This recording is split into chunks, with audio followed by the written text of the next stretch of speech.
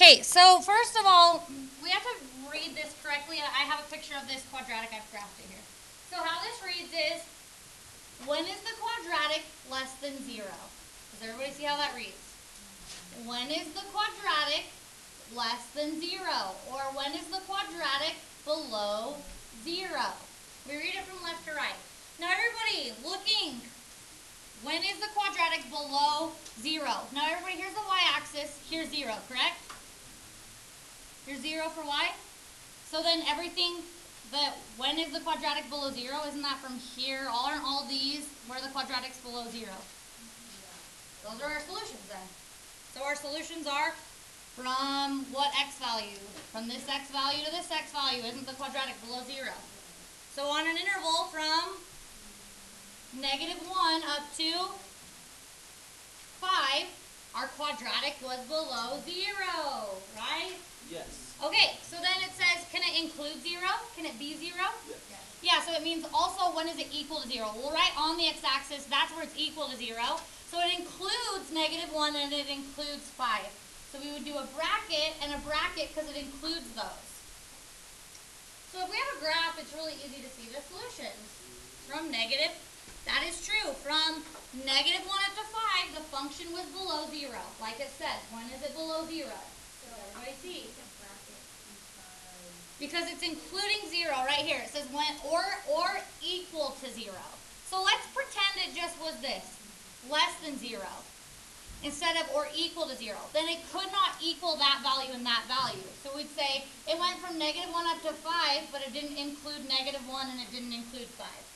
Parentheses would be not including, right? Same theme throughout the year. Okay, now let's change it. Let's uh, pretend that that's not highlighted. And let's solve. Let's read this. When is the quadratic greater than 0? That means above 0.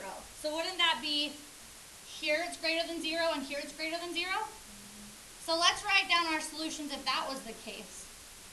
So for x from negative infinity up to this x value, that's when it was above 0. So from negative infinity up to negative 1, right? And then was it including 0? No. So it would be a parenthesis. Then also, so we say union, then also from 5 to infinity. You guys are talking right into my video, and it's making it stop. Okay, so then from 5 to infinity, right, everybody? 5 to infinity. Yay, awesome. So the thing is, is that was easy, because I gave you a graph. Do you want to have to graph all these? Not really. So um, this is how we're going to do it instead, an easier way. We don't want to have to graph the quadratic. You're not always going to be given the picture. So what we're going to do is we're going to just draw a number line like an x-axis here. So let me just show you. I'm leaving the solutions here because you're going to see it comes out the same. What we're going to do is, since it says, when is the quadratic less than or equal to 0, we're going to find our zeros. Because it says, we want to know when it's below 0. So we got to find our zeros. So how do you find the zeros of a quadratic? Factor it and solve, right? That's how we find the x-intercepts. X-intercepts are zeros, right, everybody? So we would factor that. What multiplies to be negative 5 and adds up to be negative 4. Negative 1 and 5. So our critical values would be negative 1 and 5 on a number line here. And then what we would do is we literally just test values, like plug in um, values on different intervals. So let's start here this way. What's a value less than negative 1? So let's plug negative 2 into the equation and see if it's a true statement. So I'm going to do my work up here. Negative 2 squared minus 4 times negative 2 minus 5. Is that less than 0? Let's see. That's 4 plus 8 minus 5. Is that less than 0? 8, 9, 10, 11, 12. 12 minus 5 is 7. Is 7 less than 0, everybody? No. So you're saying the this is no. That was not a true statement. So the answer is no on this interval. Let's plug in a value between negative 1 and 5 and see if it's a true statement. So let's plug in 0. Let's plug in the easiest. Between negative 1 and 5, 0 will be the easiest to plug in. So that would be 0 squared minus 4 times 0. So wouldn't that just go away? So is negative 5, look, is negative 5 less than 0? Or equal to, it said. Less than or equal to 0. Yes, right? So we'd say yes on this interval. From here to here, it was a yes. Then let's test a value above 5, like plug in 6. So then you would have 6 squared minus 4 times 6 minus 5, is that less than or equal to 0? So that'd be 20, nope, 36 minus 24 minus 5 is less than or equal to 0. That's 36 minus 29, is that less than or equal to 0? No, right? 36 minus 29 is a positive number. Is a positive number less than 0? No, so the answer would be no on this interval. So now look, this just gave us the same solutions we got by graphing. Where does it say yes? Between negative 1 and 5. Between negative 1 and 5 was our solution. And then does it include 0? Yes. So these are the including zeros. These are the zeros. So these also get yeses. So yes, from negative 1 to 5. And then because they're both yeses, we put a bracket. You guys see how testing intervals for x also work? That would be easier than having to graph it every time. Yes? So when you get factors like math one and x plus five, Yeah. you don't set, that you don't solve for x. You don't set them zero and five. No, we did.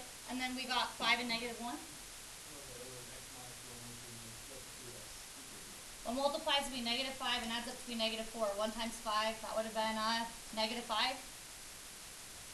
So that factors to be x plus 1 and x minus 5.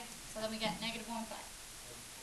Alright, so let's, do you guys see how we could have solved by testing intervals? So same thing here, we would have graphed, we would have made an xy chart here, I mean just an x chart, we just care for intervals for x. And we would have found our zeros by factoring, which are negative 1 and 5, so negative 1 and 5. And then look, we'll plug in values and see if it's a true statement. So let's plug in once again. Plug, oh. It's actually, yeah, it's negative 1 and 5. So let's plug in a value below negative 1, like negative 2. Didn't we already do this? When we plugged in negative 2, what did we get? Does anyone remember? Uh, negative five. Seven.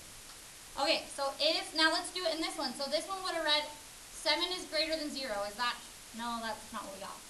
Must not be, but let's recalculate it. When we plug in negative 2, Negative four. Wasn't it seven? oh, is it 7? Yeah. Okay, awesome. If it is, so we plugged in negative 2 and you're saying we got out 7, that's probably what we got. So is 7 greater than 0? Look, is 7 greater than 0? Yeah, so we'd say yes here. Then plug in a 0. When we plug in 0, we calculate it and we got, It's the bottom. We got negative 5.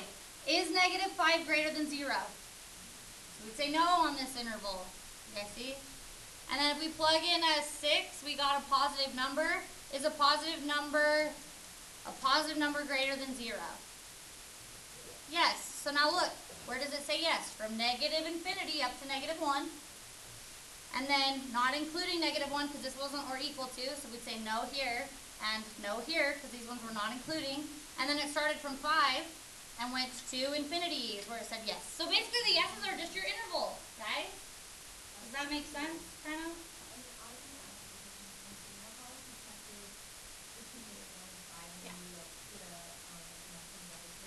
Yeah.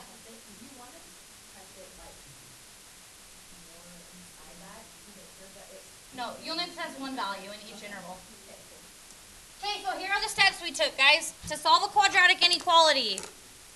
You first, you we get a set equal to zero. Here's why. We want to, finding zeros of a quadratic are easy. So we're gonna wanna be able to find the zeros by factoring, so we have to get it set equal to zero. Testing intervals, once it's set equal to zero, is easiest.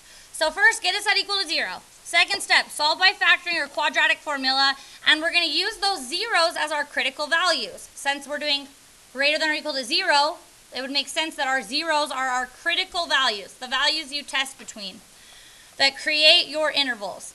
And then third, we'll just make a number line and test out those values over different intervals and write it in interval notation. Wherever it says yes is our solution, wherever it says no is not.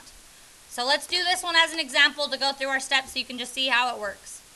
So the first step is to get it set equal to zero. So well, shouldn't I subtract 10 over? Then we have our x squared minus 3x, and then we have minus 10 is greater than or equal to 0. Questions on step 1? Second step, solve to find our critical values by factoring. Find the zeros. Since it's greater than or equal to 0, that's why we're finding the zeros.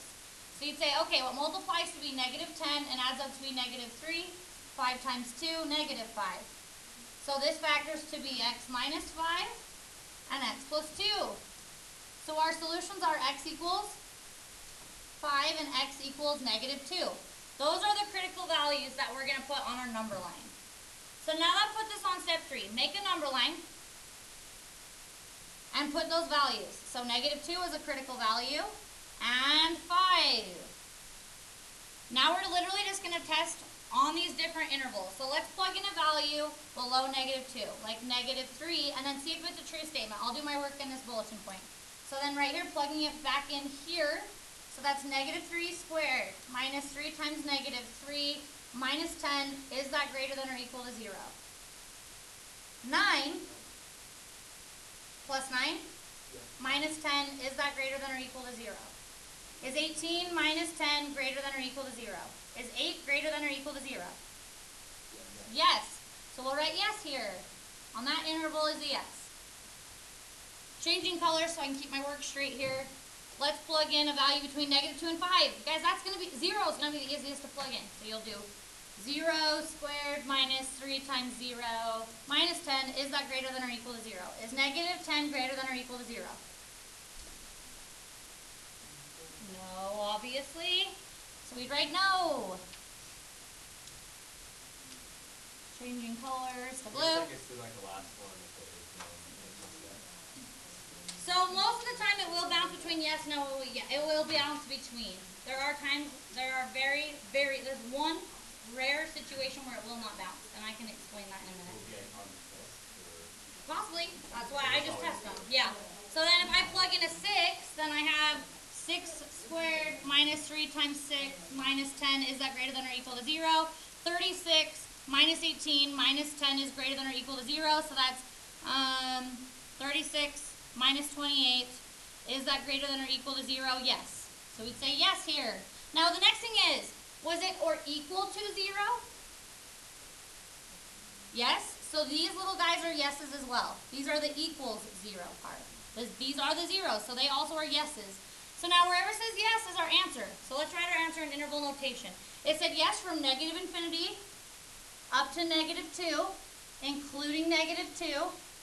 Then union, it also said yes from 5 on to infinity. So bracket 5 on to infinity. So, There's our solution. given the inequality sign, basically know when, when to put the brackets versus parentheses because of the, the, the Yep. line or not. Yep, so if this didn't have this, we would know it's going to be parentheses. Yeah, with. Yep. Hey, let's do another one. We'll go quicker this time. So first of all, okay, yeah, get it equal to zero, subtract three x, subtract three x. So then we have negative x squared minus three x plus ten is greater than zero. I can't quick factor because of the negative. Shouldn't we fix that? So what I'm going to do is divide both sides by a negative 1. But didn't I just divide, if I divide both sides with an inequality by a negative, we've got to flip the sign. So we got to do it to both sides.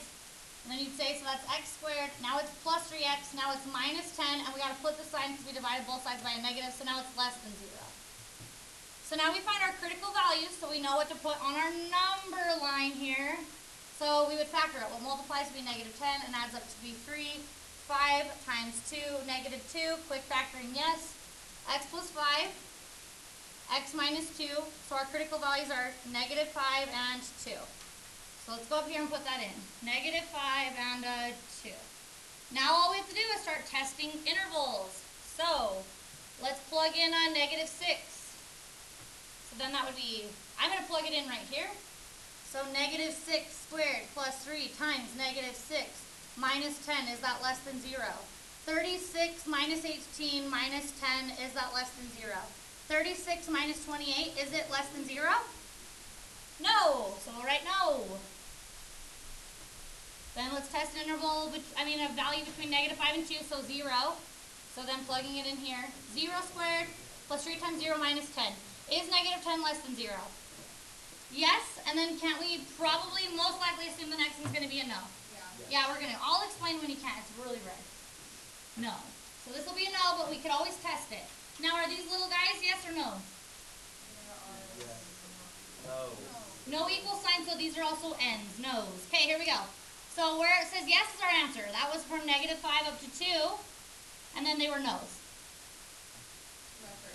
Yep. Not bad. Once you know how to do it. Okay, awesome. Hey, so would this one be hard or easy?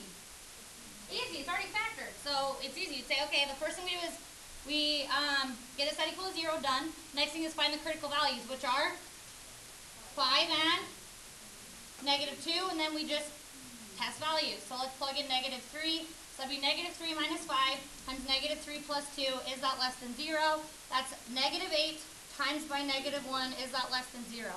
Is eight less than zero? That's a no. So then let's plug. I would at least test two of them though. I would at least test these two because then you can catch your error. 'Cause they're- if you get no no, they usually bounce. So you can be like, which one's wrong? Which one did I mess up on? Okay, let's plug in a zero. So that's zero minus five times zero plus two. Is that less than zero? Is negative five times two less than zero? Is negative ten less than zero? Yeah. Yes, so we'd say yes, so we're probably okay to assume this is a no. So now from there, I mean, we are okay to assume.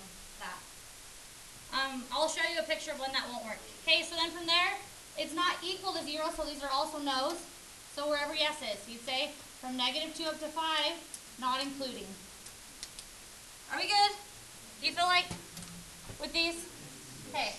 Okay, I'm not gonna do any more except for this. I'm gonna show you one thing.